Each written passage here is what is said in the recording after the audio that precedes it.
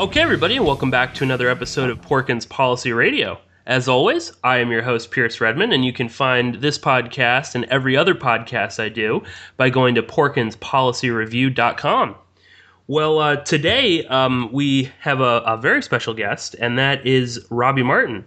And uh, for anyone that doesn't know, and I'm assuming that pretty much everyone does know who Robbie is, uh, Robbie is the founder of MediaRoots.org and the co host of Media Roots Radio, of course, with his sister Abby Martin.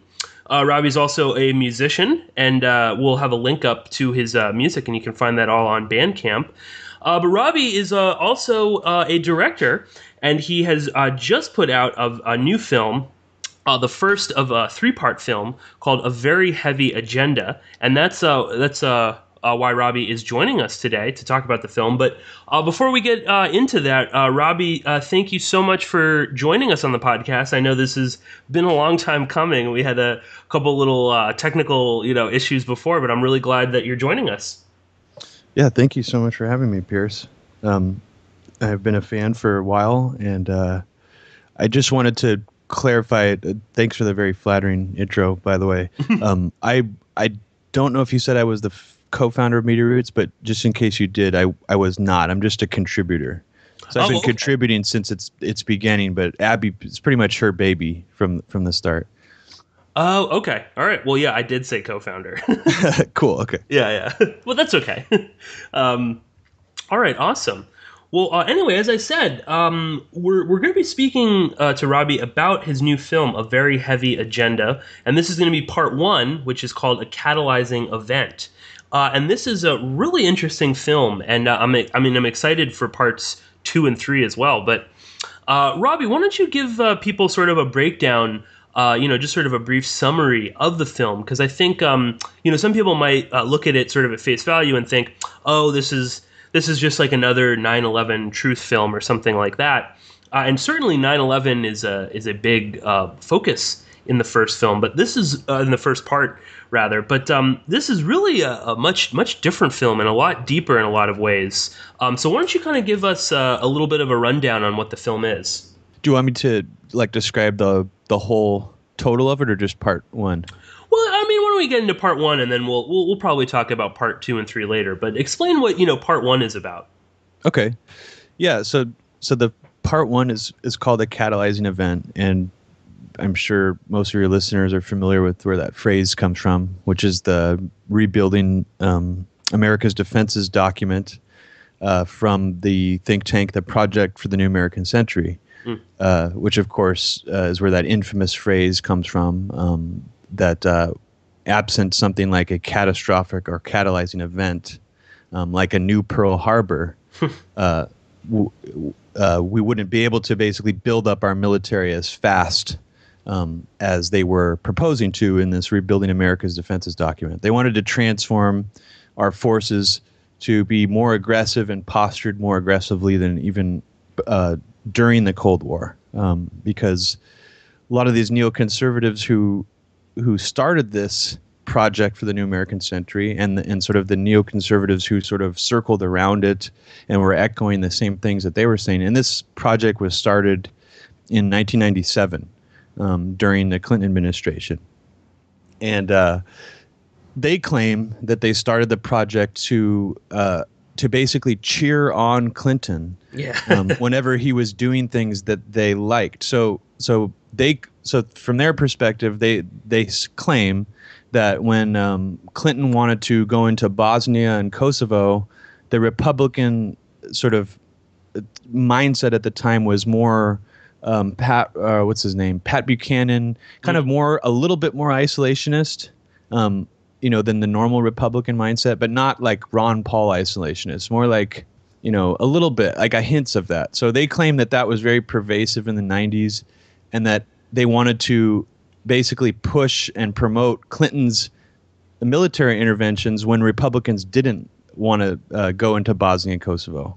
so when you watch Fox News um, from you know before t- the year 2000, you can see clips of like Sean Hannity and other Fox News reporters talking about um, how Clinton's going to ki- bomb a bunch of innocent civilians in Kosovo yeah. and how horrible it would be and stuff. So they were, you know, they were basically trying to go after Clinton for anything, but the neocons are smart enough to know because they're heavily funded and invested in, um, you know, defense contractor companies um, that you have to cheer on every military intervention. I mean, that's the way to sell weapons, and that's the way to, you know, um, to keep this machinery going. So, uh, disagreeing with a president's, um, you know, military intervention simply out of partisan reasons is, you know, to them was illogical um, because as they saw it, that was a continuation of the the Reagan doctrine um, to, you know, do these qu- quote unquote humanitarian uh, bombing campaigns and things like that. So this group of neoconservatives, um, I'd say the core members of this group um, were Paul Wolfowitz, who was sort of the formative figure um, behind a lot of the ideas and Project for the New American Century. But he wasn't actually the, the, he didn't actually found the organization. It was um, it was two guys who were more unknown in government. Uh, they were they were in government, but they weren't. They didn't really hold high positions. Um, one of them was Bill Kristol, who was Dan Quayle's chief of staff uh, during the George H. W. Bush administration. Or so it wasn't really, you know, it's not really something to be proud of to be the chief of staff for someone you know so widely um, made fun of. But that's where he comes from. Um, the other founder of uh, Project for the New American Century, uh, his name is Robert Kagan, and he's sort of who the movie focuses on the most because his role in the government originally was um, a more diplomatic uh, State Department role. And he claims that he worked in the U.S. Information Agency during the Reagan um, presidency, and which was basically, as he describes, um, the way the, what the U.S. propaganda machine was at that time. Um, I guess they called it the U.S. Information Agency. Um, and you can find a little bit of stuff that he did when he was working for that agency. Um, there's a memo that leaked where he's basically uh, coming up with ways to intimidate Jewish journalists into going siding with Israel. Um, so of like to try to paint basically um, Israeli or sorry to paint Jewish journalists who write critically about Israel as self-hating Jews. That sort of like hit, right. what the memo basically says. Like, how can we make this happen? Like, divide, you know, divide these camps so that anybody who's critical of Israel who's Jewish, we can smear them, and anybody who's pro um, Israel who's a Jewish journalist, we can sort of help them out and you know promote their work more and stuff like that. Mm. So, those were the only real two things they were known for um, before the Project for the New American Century, and once they founded it, I mean their influence over the DC, Washington D.C. foreign policy culture was enormous. Um, it it kind of exploded and then rippled out from there, and we're still. I mean, even now we're we're very much still experiencing the ripple effects, and they're not really even dying down um, at all. They're they're still the shock waves from that.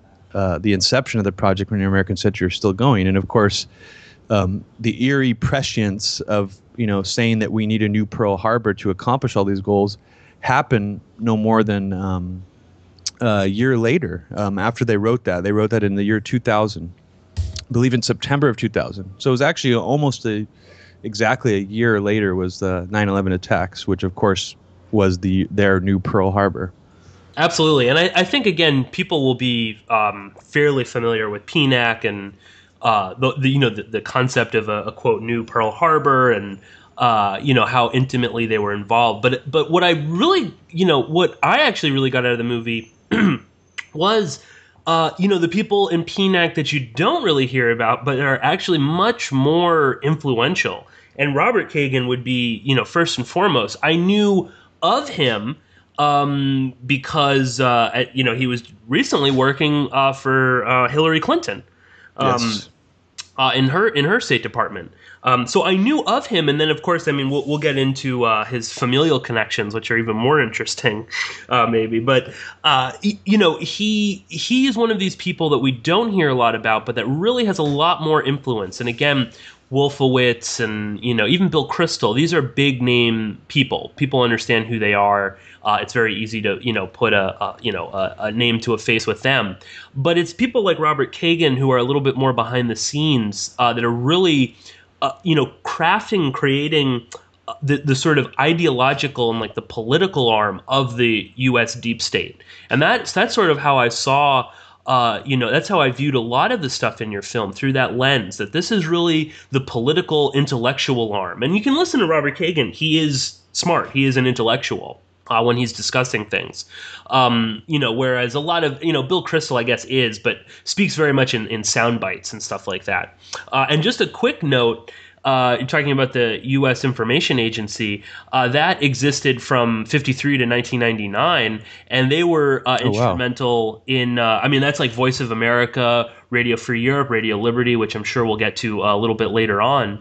Uh, and they were eventually folded into the Broadcasting Board of Governors, which uh, I'm sure my listeners will be a little bit familiar with because the uh, BBG is a big funder of uh, Tor and the Tor, the whole Tor project and Yep. that whole you know that whole thing. But we, we won't get uh, too into that right now. Uh, but just want to throw that out that again, this is a that's a very influential uh, organization in and of itself, and that Robert Kagan is working there is certainly a, a big. Um, you know that's a that's a big warning sign, but um, but Robbie, I don't know. Why don't we why don't we kind of get into a little bit about that? This sort of uh, this sort of like the intellectual side of this, because you know I think that people uh, you know, they understand. Okay, yeah, PNAC. They wrote this this whole paper. Uh, you know, calling essentially for 9/11. You know, there's a bunch of other you know famous phrases. You talk about you know Tom Donnelly coining the phrase "a new Pearl Harbor." Allegedly, yeah. Allegedly, yes, yeah. Uh, He's, no, he takes credit for it. Yes, exactly. Yeah, well, yeah. Anytime Yeah. someone asks him about it, but um, you know, let let's kind of get into a little bit, you know, beyond that because I think it's easy. Sometimes people dismiss PNAC uh, either as just this thing that sort of existed just for a very short time, uh, you know, to kind of get everyone riled up, and then oh, we have 9/11, it's not a big deal, or they view PNAC as you know uh, some some sort of you know Zionist plot or something like that. Uh, and we can get into we can debate that later if you want to. But what I find interesting uh, in your film is that you you're really sort of diving into this as a much larger picture. That PNAC is is a it's a there's there's a broader and a very heavy agenda um, behind what PNAC is doing, and that's still going on right now. So if you want to comment a little bit on that, on the sort of the the larger picture and how this is you know very much um, about the sort of perpetual warfare state, which I think, uh, sadly, the alternative media has kind of dropped the ball on that lately. Um, they've sort of, you know, they, they sh- they've shifted to other things, but that's still very much a part of what's going on here. So I don't know if you want to comment on that at all. Oh, for sure. Yeah. I mean, it's it, as you said. Yeah, the the alternative media has. I think they've done a terrible job in covering um, any anything really for the last four or five years in terms of military interventions or or you know suspicious moves in in different countries, governments being you know toppled like in Ukraine. Um, I th- I think Syria and Ukraine really. Um, I don't know exactly what it was about those events, but I really do think they broke. It was sort of like almost like the straw that broke the camel's Mm. back. Like people, people's intellectual capacity was hurt um, as a result of that. And I don't know if it's because we because because Russia is now inserted into the equation, where it's now we have another global superpower we can project our hatred onto. You know, in a similar way that we were able to with Saddam, but now it's like, you know, this guy is not going anywhere. Mhm. Um, he's going to be here for a while. Let's hate him and hate, you know, his country's human rights instead of, you know, talking about the perpetual war and police state going on here in this country. So I think that hurt people's just intellectual capacity to really, I and I, I mean, my preference is to look internally at our own country's problems because we have a shitload of them, and you know, especially post 9/11, most of those problems that were amplified and and you know put in place after 9/11 have not been rolled back. I mean, 90% of them, you know, have not been rolled Mm. back, and in some instances, there's new ones and even worse ones. I mean, so the bigger picture with PNAC always seemed to be about them reacting um, to the collapse of the Soviet Union, Mm. and by reacting, I, I just mean that they, if you've seen, um, you know, I have uh, I, I I enjoy some of uh, Adam Curtis's films, and in a lot of ways, uh, people might compare my uh, my documentary a very heavy agenda to what Power of Nightmares was sort of laying out. Um, mm. You know, maybe just in a thematic sense that it's sort of like the origins of the neoconservatives and, and what effect they had on the Bush administration. That's more um, Power of Nightmares. Yes. My movie, as you said, is more about what you know who were the exact specific people who drove the ideas and were the most influential with these ideas that influenced the Bush administration.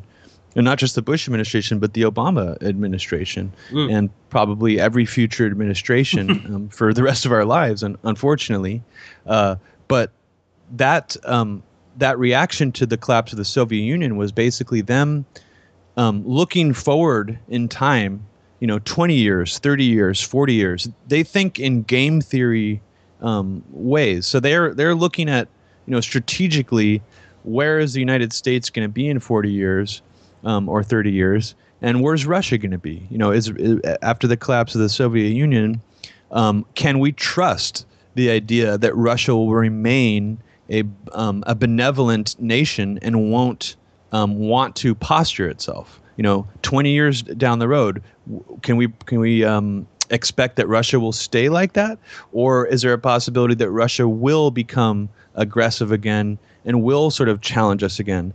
And and the way that they think game theory, I mean, I'm sure you're probably familiar with it, is they assume the worst case scenario that, well, in 20 years, let's just assume, you know, or 10 years, let's assume that Russia will become more aggressive and posture itself more aggressively and try to be more independent and fight against NATO. So what do we do then if that happens? And in a weird, twisted way, that's pretty much what PNAC's Rebuilding America's Defenses is all about. It's sort of about this vacuum of instability that they see that was created after the collapse of the Soviet Union has created this void of either opportunity or chaos um, to come in and make all these new movements to sort of lock down American hegemony, essentially. Lock it down in a way that they weren't able to do before because the Soviet Union created this counterweight of, you know, as Robert Kagan refers to it, the bipolar world.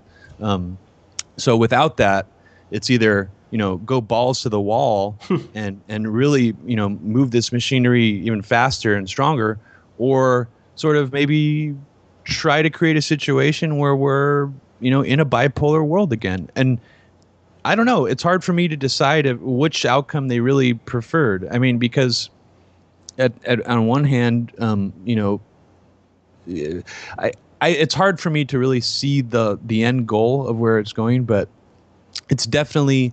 I see it now that we're in a place much more preferable to these neocons who created Project for the New American Century than we were even during the Bush administration. Um, mm. And I think what you said at the very end of your your last uh, question was um, that you know the alternative press has done a disservice to the uh, sort of this anti you know police state endless war mindset um, or covering that um, i think that's exactly what the neocons wanted all along they mm. basically wanted to normalize um, these beliefs and they and and what's scary to me is they have succeeded in doing that um, because you'll see now uh, very liberal people who i you know I look at as being anti-war people talking about implementing no-fly zones in Syria or doing these things, um, you know, sending weapons to Ukraine. And so, I think that we've reached a point now where it is hard to distinguish between neo what we once understood as neoconservative thought and what's now just normal sort of American policymaking. No, I think I think you really hit the, the nail on the head right there with this sort of normalizing war uh, and I mean, I, I, am at the point. I mean, there is no anti-war movement anymore. You know, you'll see. I'm sure Correct. you've seen this, Robbie. You'll see, you know, people on Twitter, you know, in the description, oh, they're anti-war. This, they're they're against the neocons, blah blah blah. But at the same time, they, you know, they love Putin, they love Assad, and I understand that they're, you know, Assad may be a little bit different in that he is sort of an, you know, the last independent leader in that region. But you don't have to love Assad, you know, to because you hate NATO. Um, yeah. And and I think that's very much what the neocons uh, we're you know could be you know uh, pushing for. It, it you know it, it, there is none of this like no they're all bad. You know we should stop war. It's this sort of uh, no, but you know we, we have to support one of these guys, so let, us go with this one. You know, oh okay, I guess we're all gonna you know love uh, we're all gonna love Assad or, or Putin. That's still feeding into the perpetual warfare state. Uh, and Absolutely. you know, really, uh, that really did, you know, that, that's come across to me more so lately because it's, I mean, you you don't you see these these quote anti-war people, uh, but they you know they fully support warlike acts as long as it's the right person doing it against you know the the evil American empire, which it, it certainly is, but um, it's just a kind of pathetic, uh, you know, uh, you know, just I guess make up your mind, just admit that you you're fine with this as long as it's the other guy doing it, um, and I think that is also in a way, you know, that's sort of what. Uh, the you know the neocons kind of liked that about you know when the Soviet Union did exist that there was this sort of enemy, uh, and they've certainly resurrected this this uh, notion lately. Um, and, again, that's another interesting thing that your your your movie really picks up on is that this isn't about really about the Middle East. This isn't you know. There's a lot of oh, PNAC was you know this was just about uh, you know. I don't know, uh, propping up Israel. Uh, it was just, you know, an excuse to get into all these, you know, Iraq and the oil and stuff like that. This really is all about Russia and to a lesser extent China. Uh, and that's Absolutely. always what Islamic extremism, um, you know, at least the sort of CIA or, or Gladio B type uh, extremism has always been about. Uh, and you know that's why you know Graham Fuller, who I'm sure my my listeners will be familiar with, the CIA agent. Uh, you know he said, you know at the at I believe it was in the beginning of the '90s that you know the best way to destroy Russia and China is with radical Islam. You know, it's never been about the Middle East. It's never been about oil. It's always been about Russia. Uh, and again, I mean, people are suddenly caring again about the you know Syrians, and that's only because there's Russian troops there. so you know yeah. we're, we're, back there again, you know, and now suddenly, oh, everyone, you know, all the the neocons and the the liberal intervention. Oh, we we gotta, yeah, Assad, Assad is horrible. We've got to you know carpet bomb the whole place. Um, it's only because you know Ukraine has sort of settled out, and now there's Russian troops, uh, you know, on, on the, in the east of Syria, but. Um, Robbie, why don't we why don't we kind of um, it, flesh out uh, the the Kagan family a little bit? Because they again they feature prominently in the first part of this, and uh, I believe they're going to be featured throughout uh, in parts two and three. But as we said, I mean Robert Robert Kagan is uh, you know founder of PNAC. He also worked at the Brookings Institute, State Department for Reagan and for Hillary Clinton. Um, but he's married to a very interesting uh, person, uh, and that's Victoria Nuland. So, um, you know, and you know, she's a, a, former NATO ambassador. She's State Department now for Obama. Uh, chief, she was chief of staff to um, Deputy Secretary of State Strobe Talbott, who uh, recently uh, just made a quote prediction that there would be a third Chechen war. Of course, that's you know aimed at Russia. Um, and uh, and also really importantly too, we've got his brother Frederick Kagan, who's who taught at West Point. He's now at American Enterprise Institute. Uh, he was one of the you know big architects for the Surge. He's very close with Petraeus and McChrystal, and uh, but his wife is maybe even more interesting, and that's Kimberly Kagan, and she um, uh, is the founder of the Institute for the Study of War, which is the most transparent, uh, you know, quote nonprofit uh, in the world. It's basically funded, uh, you know, according to their own website, by Raytheon, Northrop Grumman, DynCorp, General Dynamics, and Palantir. Peter Thiel's um, wow. company. Yeah, I, didn't, I knew the other ones, but I didn't know Palantir. That's very yes. I, I, was just checking the other That's day. That's crazy. Yeah. I know. No, no. As the second I saw Palantir, I was wow. like, "Oh dear God, this is bad." wow. But, um, uh, Robbie, yeah, kind of. It, it, let's talk about uh, the, the Kagan family and, and, and some of the you know familial things because again, this is like they're they're one of the, these these groups of people that we just don't hear a lot about. Um, but they really are everywhere. I mean, I, I mean, and uh, I know we, we were sort of talking, um, you know, offline a couple of days ago about you know Robert Kagan and Victoria Nuland, and I don't know. I mean, maybe you know we're probably going to be speculating a bit here, but I mean, what do you think is going on there? I mean, that is a real power couple. Absolutely. I mean, so people you know who've seen House of Cards, um, it, it's it's it's like the you know it's like uh, Frank Underwood and his wife Claire are represented in that show, but in some ways far far more powerful and far scarier. I would say you know minus the pushing people into moving trains and stuff like that parts of House of Cards, but just in a general sense, um, v- very similar. Um, but I just wanted to um, mention uh, really quickly that. Um, oh man, I just lost my train of thought. Oh, I know what I was gonna say. I was gonna. It's kind of stupid, but so I guess think of the think of the Kagan family, or specifically Robert Kagan, in the same way that you would like. You know how you, you you'll hear about like um, you know really influential sort of maestro like musicians um, who were these really strong influences on all these other musicians who are really who who later became really famous. But you, you don't hear very much about like that person who influenced all these people. They're sort of more in the background, or they never really achieved fame. You know, same similar with stand up comedy. There'll be like these comedians who are highly influential who'll somehow remain under the radar for their whole career, but like the people in the comedy scene will like know about this person. They'll all be aware of them. They're very well respected, but just for some reason they're not famous. Mm. And I see it's like it's a very similar way to the way the Ka- Kagans have navigated through DC. Is their ideas, the entire family, um, all of them, uh, their ideas are highly influential. They are well known among probably every journalist in DC, every policy wonk, every academic out there. But yet, as you said, they're not known outside of that really. Um, you know, I've heard the uh, name Robert Kagan for years, but I never even saw him talking. You know, Yeah, until yeah, I didn't maybe know a year looked- and a half ago. yeah, so I mean, how is that possible? You know, that these people who have had such a strong influence have um, have remained off the radar for so long. And I, the only explanation I have is that it's deliberate. They're not interested in becoming famous uh, pundits uh, or even you know like Bill Kristol, where they're famous as editorialists or people appearing on television. They only care about uh, being well known in this small bubble of foreign policy strategists in Washington D.C. And in that bubble, um, they are probably the most powerful, influential people uh, by far.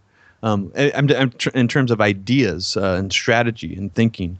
Um, you know, obviously, all the money, as you said, comes from uh, you know defense contractors. It's not even, it's not even hidden, and that's also what's fascinating about all this is that, you know, it- coming from sort of the more you know i've i've dipped my foot back and forth into the conspiracy world you know uh, more than my fair share. And uh, there's a sort of i think there's a there is a i don't want to say fallacious belief but there's a i think there's a there's a, uh skewed belief that there is sort of this hidden hand that that's guiding everything at all times. But what's so fascinating when you watch the kagans talk is they're talking very openly about all this stuff that we know is terrible and we we'd like to think is all being maybe orchestrated behind the scenes but they're all laying it out on the table in public mm. it's and i think that's something that people haven't looked at closely enough is that is that part of this is to sell the idea of this sort of endless war conspiracy, if you'll call it, but not in a hidden way. They want to normalize it to the point where they want it uh, transparent. They want people. Um, something about it is they want people to to to know these things and to be influenced by them. So that's that's also weird to me. Is that um, you know there's uh, there's definitely a different approach here than you know maybe the the sort of deep state of old, uh, where you know they would do everything um, sort of at a at a you know uh, in a very secretive way, and I I would argue this is maybe a slightly newer, refined approach where for some reason selling things like this to the public and to these policy wonks in um, you know in public uh, is somehow has some sort of you know uh, benefit to um, to them to do that. But but yeah, the Kagan family. I'll just go over them really quickly uh, because you know you you'll. I don't want to spoil too many things about about just how crazy they are, but um, but Victoria Nuland specifically is probably the the one who seems to be the most neutral on the surface. She's she uh, has gone through Democratic, uh, Republican administrations. Strobe Talbott uh, interestingly enough, is a Democrat, and he, uh, he I've heard him described as a Cold Warrior Democrat, and apparently, after the Berlin Wall fell, he came up with this idea that if Europe uh, wasn't quote whole, free, and at peace, unquote, that um, we really haven't won the Cold War. Um, that if any of these, you know, former Warsaw Pact nations or nations that were under Russia's thumb, if any of them are still on the fence or still, you know, leaning towards Russia, that means that our work is not finished in terms of the Cold War. Um, so, in arguably, I mean, some of this thought that led to the Ukraine situation now comes from not even really neocons. It also comes from these sort of, you know, holdovers from the, the Cold War, that, you know, Democrats like Strobe Talbott. Mm. And throughout part two of, of a very heavy agenda, I basically found, I don't know, maybe 20, 30 instances of different policymakers and different actual Obama administration officials using uh, Strobe's uh, Talbott's phrase that he coined uh, that a, we we needed a Europe whole, free, and at peace, and I just didn't realize it's kind of one of those things where it's like it's not a talking point that's being pushed to you and me mm. or the general public. Like Fox News isn't talking about a Europe whole, free, and at peace, right? But for some reason, this is a talking point that's been parroted and fully understood by the policy wonks and the academics in this small bubble, and it's it's become this running theme and I think just that phrase alone sort of explains uh, in a large way why things are the way they are now with Ukraine and Russia. Mm. Um, is that to a lot of these people, the Cold War really never ended, um, even with the collapse of, of the Soviet Union. So that's that's that's the Victoria Nuland side of things, and of course, she was caught on a leaked phone call. Um, trying to play musical chairs with the Ukrainian opposition before the you know uh, just like meddling with the you know who was going to get into the Ukrainian government and, and that kind of thing as the government was collapsing.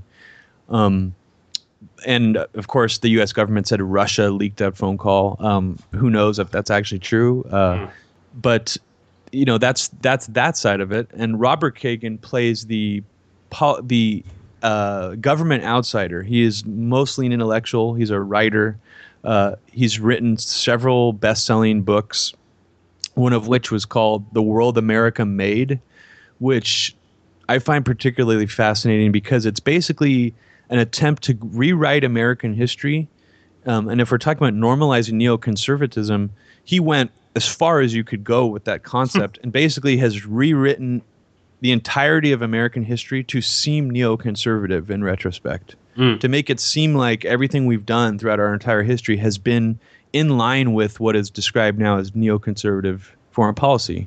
Um, and that book uh, was uh, one of the like four books that Obama was reading um, when he got into office, along with a Team of Rivals, that that book about the you know Lincoln's presidency. So, you know, and, and if you think that's as far as it went, that Obama was just sort of reading this influential neoconservative book, um, he also uh, ended up uh, taking in um, Robert Kagan uh, via Hillary Clinton, as you mentioned earlier, uh, when she was working as Secretary of State. She appointed him to a really similar role that Richard Perle was appointed to in the Bush administration. Mm. Um, he, I think he was working under the Pentagon, and and uh, Robert Kagan was basically working at the State Department.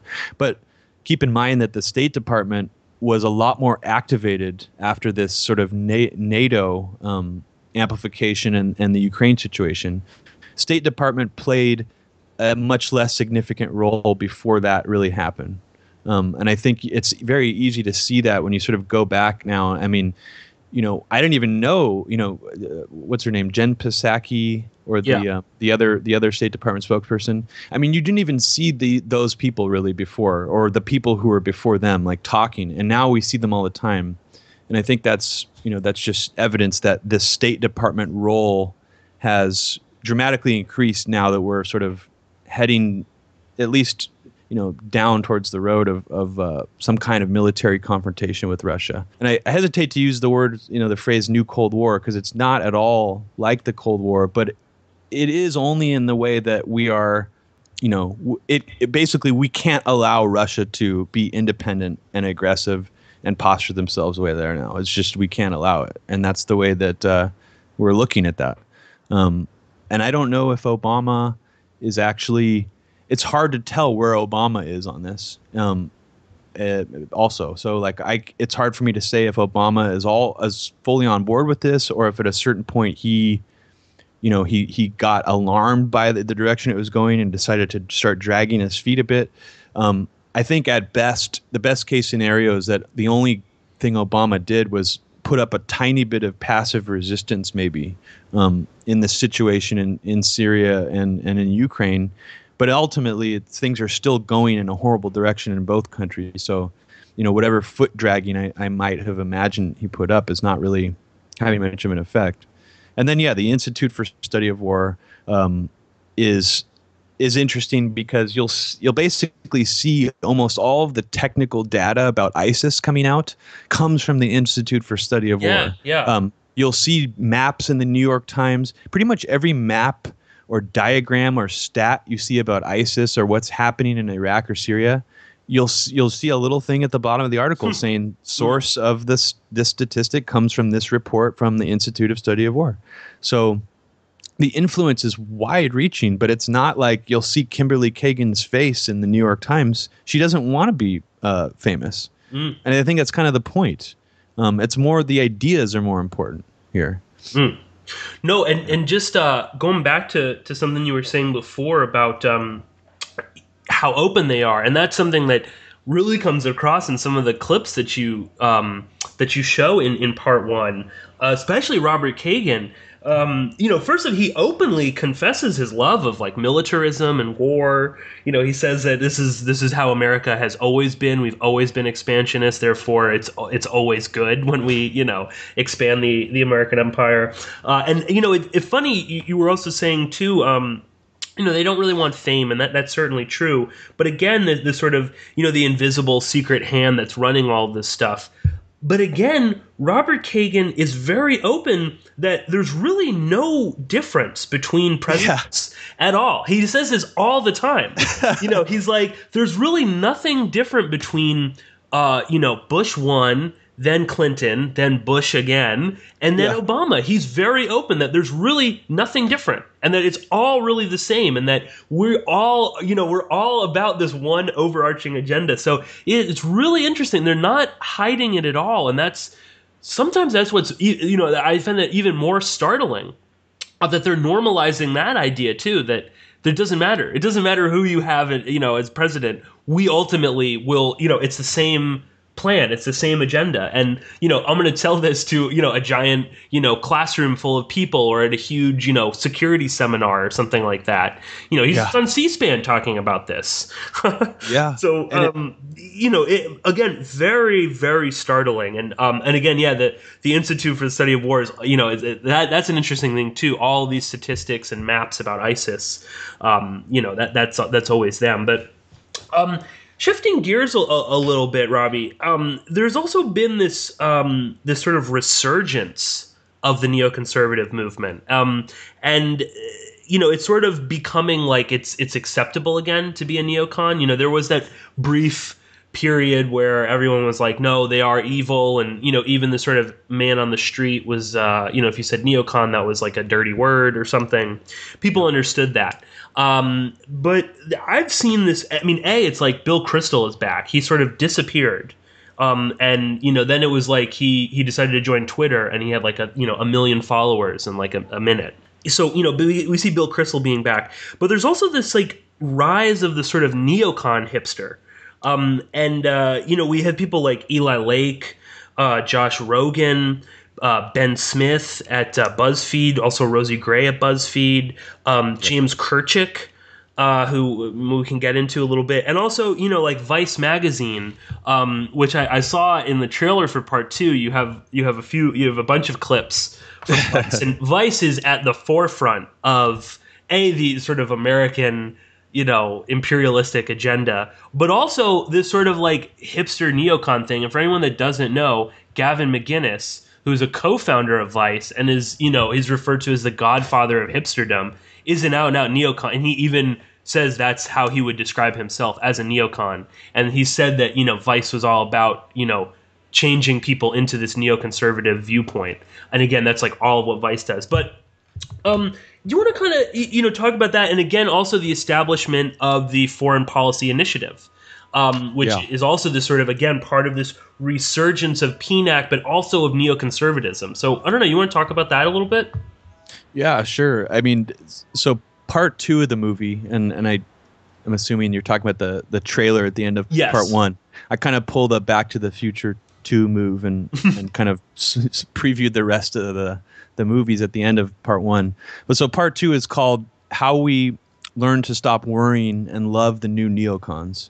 and who I'm referring to as the new neocons are are these people that you just uh, went into um, Eli Lake, Josh Rogin, James Kirchick. Um, but but there's there's there's more even than those people. There's there are these um, there's there's these new people I've been so so at first when I started making the movie, those were the people that were on my radar the most because a lot of them were sort of involved in um, trying to uh, lodge, um, you know, attacks at Russia Today, and they were sort of mm. persistent about it for quite mm. a bit. That's died down actually a lot. Yeah. Um, they're they're not focused on that anymore. Right now, they're focused on Syria, of course. Um, but there's there was a group of other people um, that you'll see now writing a lot for the Daily Beast, and uh, there's a guy actually who had a very influential book um, named Peter Pomerantsev uh, who, and I don't know if you have seen Adam Curtis's like newest couple of films. No, um, but so he did he did this short film uh, for I think it was for that guy Charlie Brooker's The Wipe uh, TV show in, mm. in England, and it was like a 15 minute long short about Putin and about uh, Russia and their and the way they manipulate the public in Russia. Mm. And what was so fascinating about about it is almost all of it was sourced from uh, this guy uh, Peter Pomerantsev's book, um, and the, Peter Pomerantsev's book is basically uh, this very well written book about how Russia manipulates the media and how Russia's propaganda machine works, and it's like written almost in this like Jon Ronson kind of clever, humorous style, right? But this guy um, managed to uh, become so influential.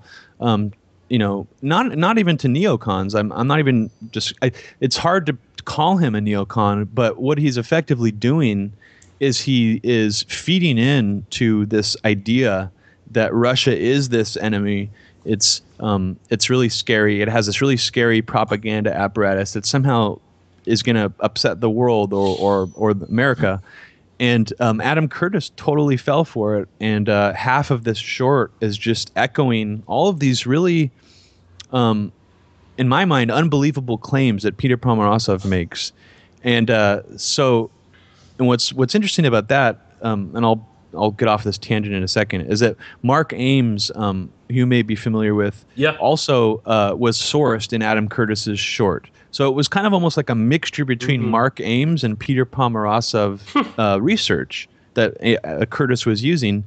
But so I asked Mark Ames about it because I was like, you know, that's really weird because I've seen Peter Pomerantsev being promoted by all of these neocons, all of them. I mean, they love his work. It's they're like, you know, his biggest fans mm. as, as these the hardcore neocons, and he um, he was baffled by it too because he had read Peter Pomerantsev's book he thought it was really interesting. He thought some, a lot of it was true because of his own experience in Russia, but yet, you know, he he thinks that Peter Pomerantsev might be actually, you know, out there playing some kind of larger strategy and, and is willingly shilling for these neocons and some sort of really clever way. Um, but you know, there's other people like Michael Weiss um, who write for Daily Beast now they used to be uh, part of the same think tanks that Peter Pomerantsev talks at, the Atlantic Council, yeah. Institute for Modern Russia.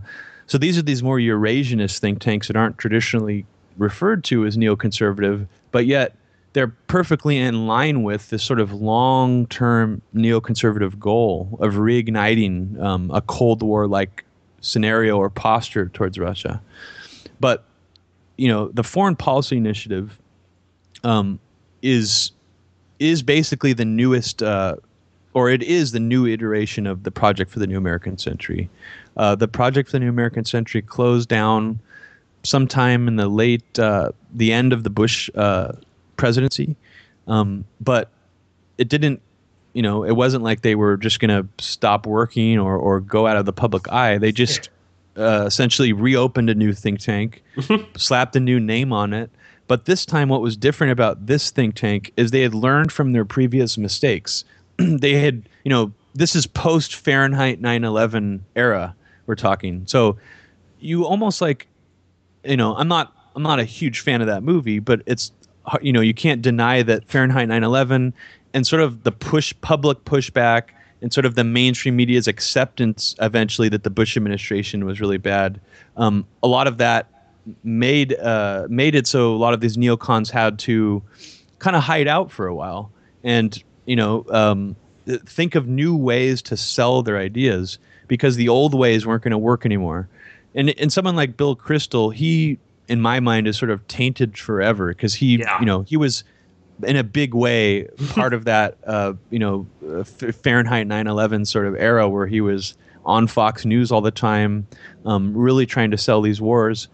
Robert Kagan managed not to, uh, you know, be as exposed. So, but basically, the Foreign Policy Initiative, um, they learned from this era. They learned that the public knew that neocons were evil. Um, so, I think that what they did was really smart. Is they took this new approach where they made their rhetoric softer. Um, they didn't talk uh, like people like Michael Ledeen or like um, people like Bill Kristol used to. They kind of talk more like um, Robert Kagan now. Uh, they they have uh, they have a more clever way of, of, of selling these ideas, and the key I think was they they call it a bipartisan organization. So they're not even trying to present themselves as like a Republican, you know, hawkish wing of the Republican Party or anything like that. They're actually trying to influence the Democratic Party too, and uh, they've really really succeeded in doing that. Um, you know, pe- for people who haven't been paying attention, we're already past the second House vote for sending offensive uh, weapons to Ukraine, um, and it passed overwhelmingly. Uh, the second time, I think, was something like 300 to you know 300 yes votes to 29 no votes or something like that. That's that's really scary. You know, to think that's that is a bipartisan consensus. Um, and in part three of a very heavy agenda, I, I sort of show how every single Democratic uh, congressperson who's out on the floor arguing for this bill appeared at one time or another at a foreign policy initiative uh, talk. So, the, you know, it doesn't take very many people to push these agendas, and that's also another frightening part of it. And they're all doing it in the open too. I mean, it just takes you know maybe five or six Congress people who are sort of advocating for this point of view to normalize the idea on the House floor, and it and and at the same time there isn't very much public pushback at all, or even alternative media pushback against what's going on in Ukraine. Um, so that's also another problem. Um, with with the original Syria push, I think that was the last, almost kind of like the last gasp of the and what was left of the anti-war movement. And then after that, um, I mean, as far as I can see it, we're we're we're screwed right now with, uh, you know, with sort of. You know, like shaking these people and saying, "Don't you understand? These are neoconservative ideas. You're, you know, you're going out there and doing." They wouldn't even understand that at that point because to them it, right now it's become normal thought. That's the way that people think in dc right now. Mm. um, and that, that's kind of what we're up against. It's kind of like how 9-11 uh, debunkers now acknowledge you know all of the the main sort of criticisms about 9-11 like i mean that newest uh, jonathan kay you know is going around talking about how we really need to release the 28 pages it's like yeah, yeah, yeah. it's like they're almost like absorbing they're they're they're adapting mark ames Mm. described it that way that they're uh, actually adapting to the pushback against them and they're adapting really uh, well i think Mm. very borg like Definitely, no, no, definitely, definitely. That's a that's a great uh, way to describe it, especially with the the sort of like hipster neocons. Um, oh yeah i you know, didn't even 'cause go they- into vice yeah Yeah, I mean, oh, I mean, yeah, exactly. Yeah, I mean, Yeah. the whole Vice thing. I mean, they wouldn't even you know, I don't even think they are even aware of the term neocon. Um, and I, I, can only assume that a lot of them don't even really get it. But uh, you know, they're they're reporting on any geopolitical topic, be it Ukraine, Syria, uh, anything. It's uh, Libya, especially. It was always in support of the you know of NATO and the neocon agenda. Um, you know, and that's that's the best way to sort of uh, you know indoctrinate people. You know, oh no, we're we're cool and hip, and you know, let's you know do coke at parties in Williamsburg and you know whatever it doesn't really matter um, you know and then when uh, you know we're you, you, know we're at war in Syria oh yeah that's okay don't worry about it, it doesn't matter you know just go back to the do's and don'ts section uh, of Vice and you know just forget it um, and again too people like Eli Lake um, Ben Smith at, BuzzFeed again pushes this in a very soft way where you wouldn't even know it and again I I uh, the the scary thing too is that I mean it's just uh, foreign policy initiative is just PNAC 2.0, and they're just exactly. all back again. And I, I, would definitely encourage the listeners to keep an eye on that, and you know, because God only knows what kind of big paper they're going to come out with, you know, um, just just in time uh, for you know this upcoming presidential election. And I can only assume that you know they are positioning themselves again. They're becoming more influential. You know, you, are going to start. I've even noticed just a marked uh, presence that they've had. Um, yep. Again, with, with James Kirchick, I mean, they organized that entire Liz Wahl RT uh, resignation. Uh, yeah. You know, completely orchestrated by them. Uh, but yeah, again, we're you're going to start seeing these people pop up more and more. Uh, especially, I think, with, you know, in terms of um, the, this presidential election. So, and again, that, that's the thing to, to keep in mind is that these they never really went away. They were always there, and now they're coming back again in a, a, a you know a slightly more covert way. But it's all the same things, as you're saying too. I mean, you, you've got it to the point now where you've got people espousing these like crazy, psychotic policies, but they're uh, you know they're they're they're not they're not neocons. You know they're oh no no we're I'm on this I'm on that. It's bipartisan.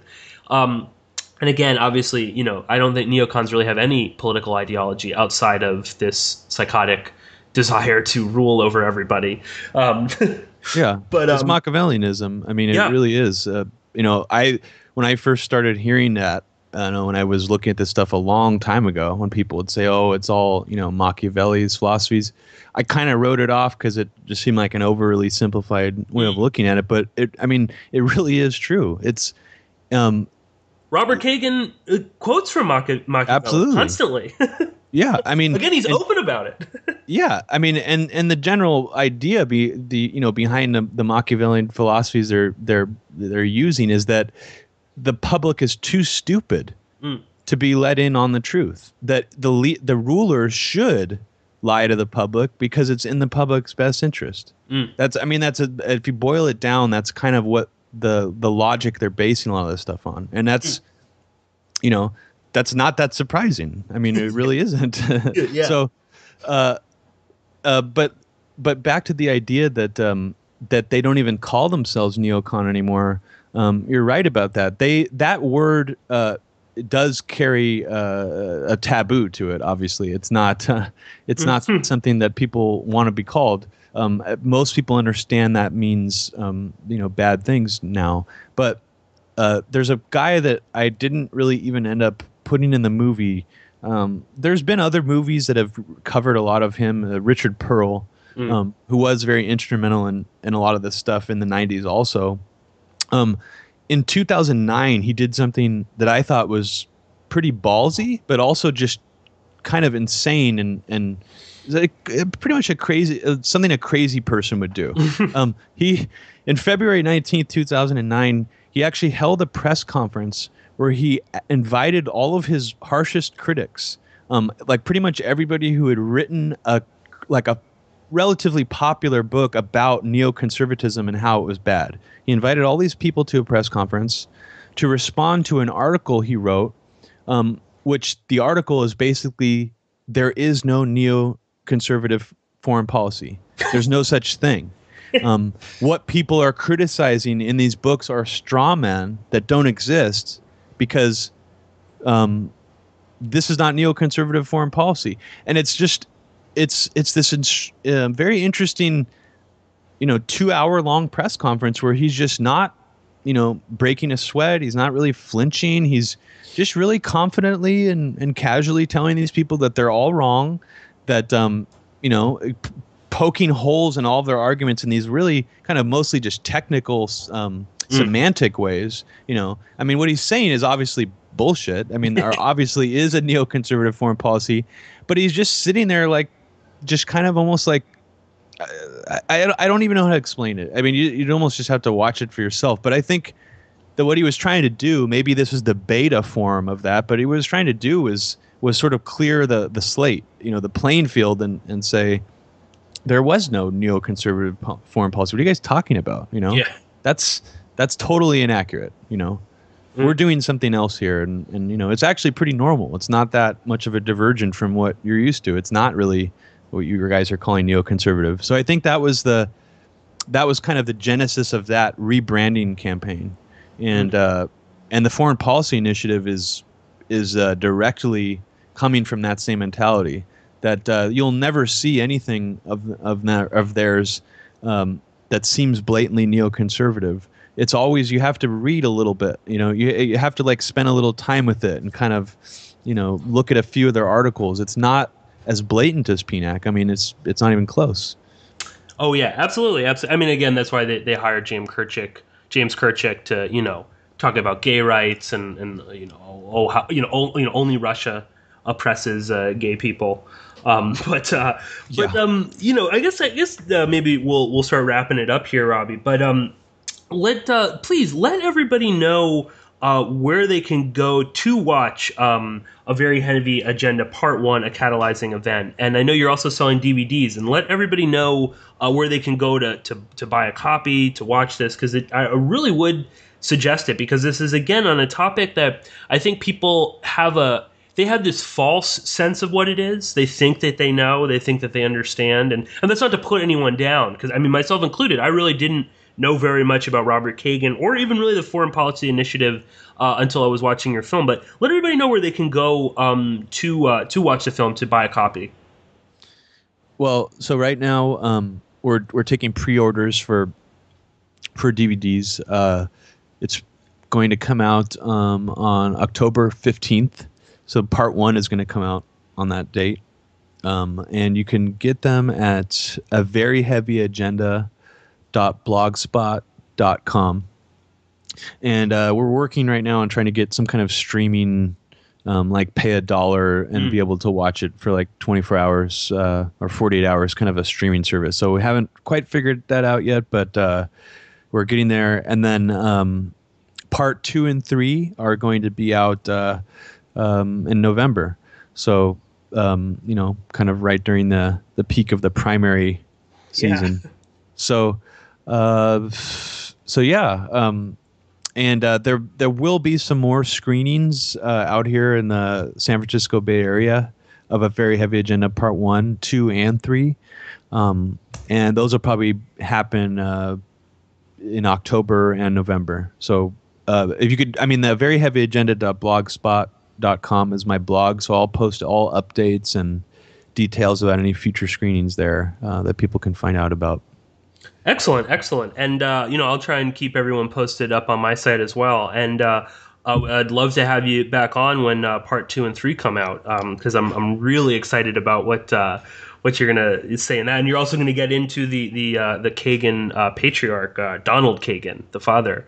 Um, oh yeah, who uh, you know describes himself as a, a you know a neo everything, a neo Marxist, a neo conservative. So well, yeah, you know I can't wait. Oh, that was actually Irving Kristol. That's the Bill's, oh, okay, Bill's dad. Yeah, mm. yeah, yeah. Oh. Don Kagan's kind of like the uh, he's like the master historian of the family. He teaches um, he's been teaching ancient history at Yale for the past mm. forty years, uh, yeah. war history mostly. Mm, mm. So, and Excellent he's a really stuff. really creepy one. Yeah, he definitely is. so, uh, Robbie Martin, thank you so much for for joining us on the podcast. And uh, like I said, I'd love to have you back on to uh, talk uh, some more about all of this. So, thank you so much for joining us. Yeah, thank you so much for having me, Pierce. Um, had a really good time. Excellent. Okay, everyone. So that was my conversation with Robbie Martin. Uh, thank you all so much for listening to this episode. And if you enjoyed this podcast and you'd like to hear some more of my work, then please go to porkinspolicyreview.com. And there, of course, you can find all of my podcasts free for download as well as uh, streaming on YouTube. If you like the work and you want to, you know, keep following it, then definitely follow through the RSS feed. You can always follow through email blasts. Uh, always follow me on Twitter at porkinspolicy. And please also subscribe to my YouTube channel, which is youtube.com forward slash 1138 porkins. So, uh, just some quick little uh, uh, notes, some some upcoming stuff. Um, me and Christoph will be back with a new episode of Porkins Great Game. I know we've been uh, on a little bit of a hiatus there. Um, Christoph was just finishing up uh, school stuff, so he took a little bit of a break uh, from writing the new Great Game roundups. But he has a new one out. For about I think it's now about a week old. He's going to have one up again, of course, on Tuesday and uh, we'll have an episode up probably um, either this uh, coming week or the week after. So definitely look out for that. Also, look out for uh, the. Uh, me and Tom will be doing uh, a Homeland uh, podcast, uh, like a little mini series. Um, we're we're trying to do it um, you know once every week when the uh, episodes come out and we'll probably either take turns you know going uh, on ClandesTime or going on porkins policy radio. So we're still figuring out that exactly but um, we're pretty excited about it. This season is going to be i think uh, as good if not better than the previous season and uh, we're excited about doing it uh, sort of a week to week show, and that'll that'll be a lot of fun to do as well. Uh, Tom and I are also uh, busy working on the second season of the CIA in Hollywood. Uh, we you know haven't forgotten about that.